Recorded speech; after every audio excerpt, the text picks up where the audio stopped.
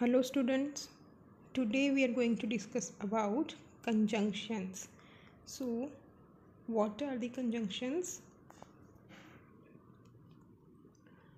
a conjunction is a word which joins two words phrases और sentences means कि conjunction एक ऐसा शब्द है जो दो वर्ड्स को फ्रेजेस को या फिर सेंटेंसेस को आपस में जोड़ता है, okay? For example Ram and Shyam are brothers Neha wants coffee but I want tea तो यहाँ पे आप देखोगे कि राम एंड श्याम, ये दो वर्ड्स हैं। इनको किसने जोड़ा है? एंड ने.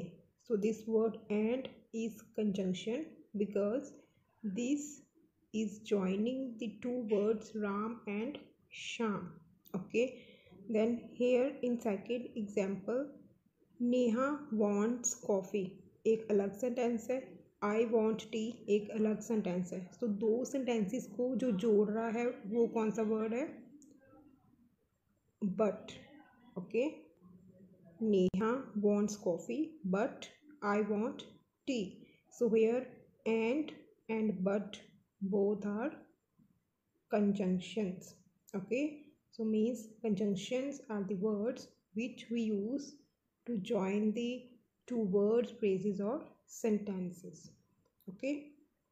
So today we'll discuss about these three conjunctions. Because so and although yet okay जी first is because बिकॉज़ का जो लिटरल मीनिंग होता है, वो क्या है? क्योंकि, ठीक है? Because is use for giving reasons because जो है, वो हम रीजन्स बताने के लिए यूज़ करते हैं okay like I missed the train because I was late मेरी ट्रेन मिस हो गई क्योंकि मैं लेट था, या मैं लेट थी okay Then she bought nothing because she had no money.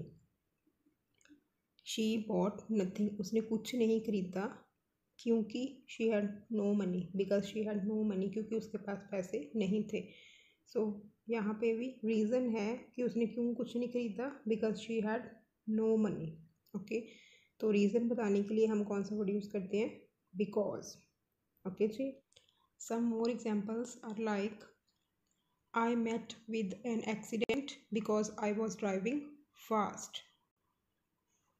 Or uh, Mohan did not help Sohan because he was not well. Okay, so this is the word that we use for giving reason. Okay, then next we have is so. So जो word है so conjunction हम किस लिए use करते हैं as a conjunction सो का जो literal meaning है वो है इसलिए okay this is use for talking about result और पर्पसेस ये हम रिज़ल्ट बताने के लिए या पर्पसेस बताने के लिए यूज़ करते हैं. For example he did not work hard so he failed उसने हार्ड वर्क नहीं किया इसलिए वो फेल हो गया. सो so, इस इसमें जो रिज़ल्ट आता है ना कि रिज़ल्ट बताने के लिए हमें ये यूज़ करते हैं. लाइक ही फेल्ड रिज़ल्ट क्या आया? ही फेल्ड वो फेल हो गया, ठीक है? इसलिए वो फेल हो गया. It was raining so I did not go to school बारिश हो रही थी, इसलिए मैं स्कूल नहीं गया. या नहीं गई.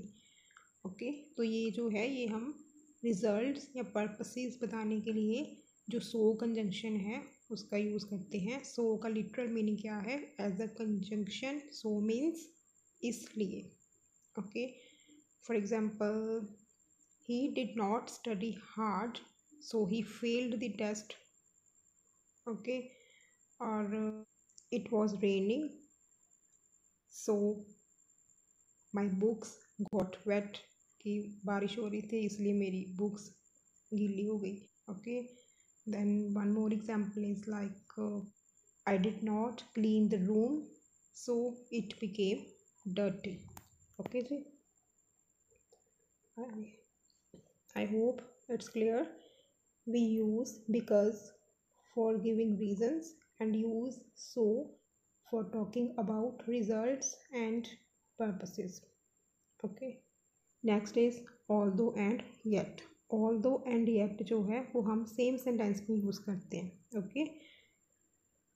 ये हम किस लिए यूज़ करते हैं it is use in the same sentence for unexpected और डिफरेंट इन्फॉर्मेशन जब हम अनएक्सपेक्टेड की जिस चीज़ की हमें उम्मीद नहीं थी, या फिर एक अलग इन्फॉर्मेशन देने के लिए हम ऑल दो एंड येट यूज़ करते हैं okay for example I am weak I can run fast कि मैं कमज़ोर हूँ, मैं तेज़ भाग सकता हूँ। तो ये दोनों आपस में कॉन्ट्राडिक्ट कर रही है ना। एक तो कमज़ोर है, एक तेज़ भाग सकता है। तो जब ऐसे अनएक्सपेक्टेड कोई हमने इंफॉर्मेशन देनी होती है, तब हम ऑल दो यूज़ करते हैं एंड येट यूज़ करते हैं। नाउ देखो कैसे यूज़ करना है। Although I am weak yet I can run fast कि चाहे मैं कमज़ोर हूँ, फिर भी मैं तेज़ भाग सकता हूँ। ओके ऑल दो मीन्स चाहे या बेशक येट मीन्स फिर भी। Okay ji next example is I was ill I did not go to the doctor कि मैं बीमार था बट मैं डॉक्टर के पास नहीं गया। तो यहाँ पर although I was ill yet I did not go to the doctor चाहे मैं बीमार था बट फिर भी मैं डॉक्टर के पास नहीं गया। Okay ji. Although he is very sleepy yet he is watching movie कि चाहे उसे नींद आ रही थी फिर भी वो मूवी देख रहा था। Although it was raining yet I did not take an umbrella कि चाहे बारिश हो रही थी फिर भी मैंने अम्ब्रेला नहीं लिया। Okay then although my room was dirty yet I did not clean the room कि चाहे मेरा रूम गंदा था फिर भी मैंने उसे साफ़ नहीं किया। ओके okay, जी? So this is all about our conjunctions because so although and yet. Okay? Thank you so much. Have a nice day